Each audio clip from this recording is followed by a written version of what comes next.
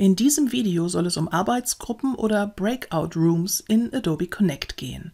Ich stelle Ihnen die einfachste Variante vor, wie Sie eine Gruppenarbeit in Adobe Connect durchführen. Dafür müssen wir uns das Teilnehmerfeld, den Teilnehmerpod, auf der rechten Seite des Bildschirms ein bisschen genauer angucken.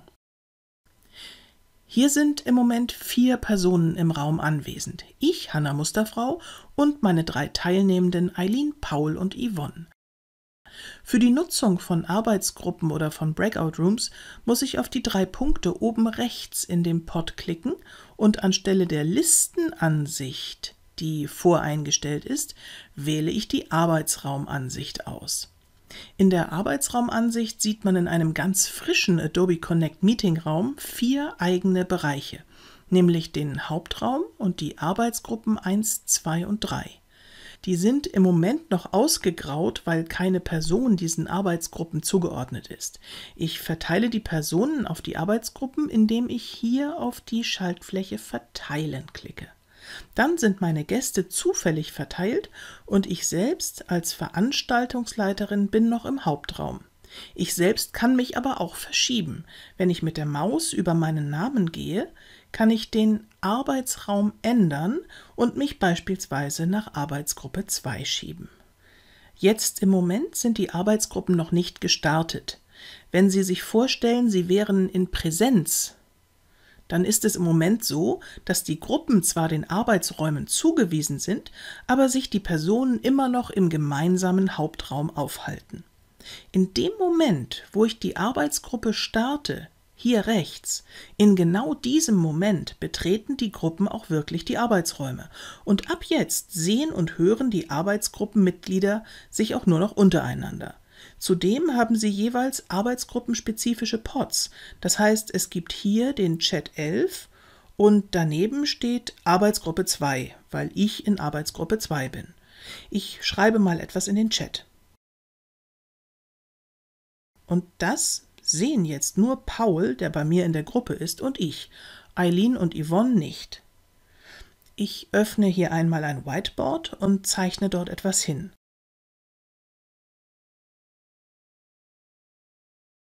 Auch das ist jetzt für die anderen Arbeitsgruppen nicht zu sehen.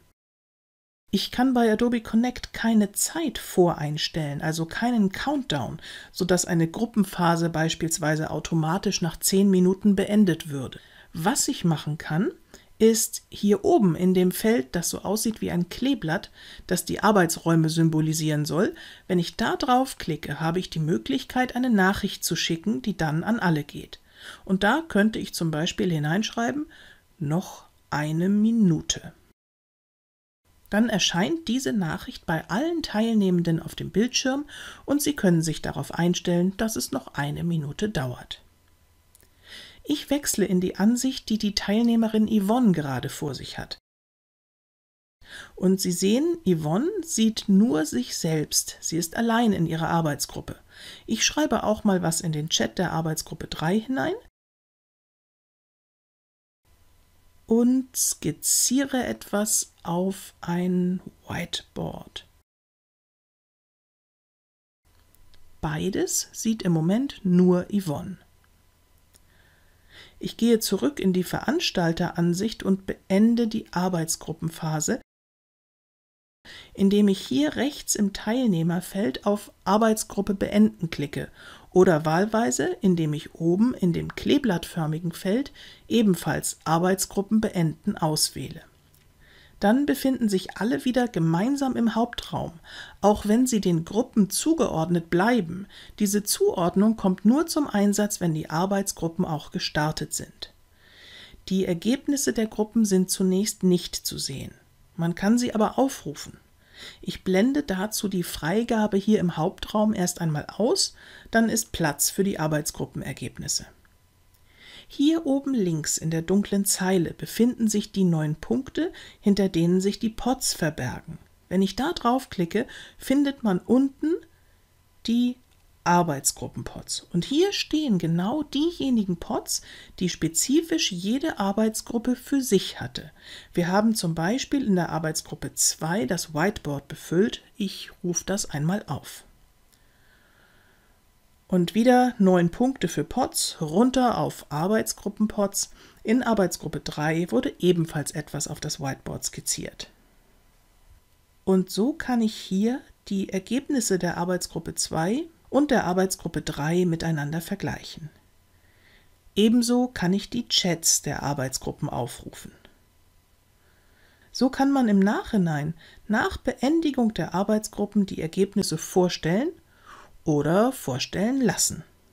Ein wichtiger Punkt, den man wissen muss, ist, dass die Arbeitsgruppen nicht gelöscht werden. Das heißt, Arbeitsgruppen beenden ist im Prinzip dasselbe wie aus einem unaufgeräumten Raum einfach herausgehen und ihn abschließen. Der bleibt genau so, wie er ist, genauso unaufgeräumt, mit den gleichen Inhalten und dem gleichen Layout. Zur Verdeutlichung, wir befinden uns hier im Moment alle im Hauptraum, während die Zuordnung der Personen zu den Gruppenräumen gleich geblieben ist. Also Eileen gehört weiterhin zur Arbeitsgruppe 1, Paul und ich zur Arbeitsgruppe 2 und Yvonne zur Arbeitsgruppe 3. Wenn ich jetzt die Arbeitsgruppen erneut starte, verlassen wir alle den Hauptraum und betreten wieder die Räume, die wir mit dem Ende der Arbeitsgruppenphase vorhin verlassen haben. Man sieht, das Layout der Arbeitsgruppen ist gleich geblieben und auch die alten Bildschirminhalte sind noch vorhanden. Das kann durchaus mal gewünscht sein, aber es kann ebenso sein, dass Sie bei einer weiteren Arbeitsgruppenphase lieber eine ganz frische Oberfläche haben möchten. Ich zeige jetzt, wie das geht. Ich beende die Arbeitsgruppen und im Prinzip ist die Lösung ganz einfach. Aufräumen durch Löschen. Ich lösche die Arbeitsgruppe 3, indem ich mit der Maus in die Zeile von Arbeitsgruppe 3 fahre und hier das Kreuz auswähle Raum entfernen. Jawohl. Das gleiche mache ich mit der Arbeitsgruppe 2. Und Sie sehen, wenn ich den Raum entferne, dann verschwinden auch die Inhalte hier von meinem großen Layout im Hauptraum, dann sind die Arbeitsgruppenpots nicht mehr da. Jetzt gibt es nur noch den Hauptraum. Wenn Sie nach dem Löschen wieder Arbeitsgruppen anlegen wollen, klicken Sie auf das Plus so oft, bis Sie die gewünschte Anzahl von Arbeitsgruppen erreicht haben. Ich lege jetzt einmal nur zwei an, klicke auf Verteilen, dann landen Eileen und Yvonne in Arbeitsgruppe 1 und Paul in Arbeitsgruppe 2. Wenn ich jetzt starten würde, hätten die Arbeitsgruppen ein recht unglückliches Layout vor sich. Eine Videokamera oben rechts, das Teilnehmerfeld und das Chatfenster. Aber hier in der Mitte ist nichts, womit Sie irgendwie arbeiten könnten. Denn die Arbeitsgruppen übernehmen dasjenige Layout, das bei ihrem ersten Start eingeschaltet ist. Es ist daher sinnvoll, wenn Sie sich zuerst überlegen, was eine Arbeitsgruppe tun soll und danach das Layout anpassen, das zum Start der Arbeitsgruppen zu sehen ist. Ich ziehe hier das Videofeld ein bisschen größer, damit mehrere Kamerabilder nebeneinander Platz haben. Vielleicht sollen Sie eine gemeinsame Mindmap erstellen, daher füge ich hier eine Freigabe hinzu und gebe ein Whiteboard frei. Und wenn ich jetzt von diesem Layout aus die Arbeitsgruppen starte, dann haben alle Arbeitsgruppen ein breites Videofeld in der oberen Zeile des Raums vor sich und ein relativ großes Whiteboard. Ein wichtiger Hinweis, ob Sie das Zeichen Plus für weitere Arbeitsgruppen anlegen auf Ihrem Bildschirm überhaupt sehen, hat etwas damit zu tun, wie hoch Ihre Bildschirmauflösung ist und wie breit oder schmal das Teilnehmerfeld im jeweiligen Layout ist. Achten Sie mal auf das Plus, was damit passiert, wenn ich das Teilnehmerfeld schmaler mache. Das Plus verschwindet. Und wenn das passiert ist, dann muss ich bevor ich neue Arbeitsgruppen anlegen kann, das Feld wieder breiter ziehen, damit das Plus wieder auftaucht. Es gibt für das Plus keinen Ersatz irgendwo anders. Es muss dort zu sehen sein. Das kann ich natürlich auch kurzfristig machen. Wenn meine Bildschirmauflösung so wäre, dass beispielsweise in dieser Aufteilung, in diesem Layout das Plus nicht zu sehen ist, ich möchte aber noch zwei Arbeitsgruppen hinzufügen, dann kann ich das Teilnehmerfeld kurzfristig breiter machen, weitere Arbeitsgruppen hinzufügen und dann das Feld wieder schmaler schieben. Also keine Panik, wenn das Plus für neue Arbeitsgruppen nicht da ist, ziehen Sie das Teilnehmerfeld ein bisschen größer. Noch einmal zusammengefasst, Arbeitsgruppen in Adobe Connect.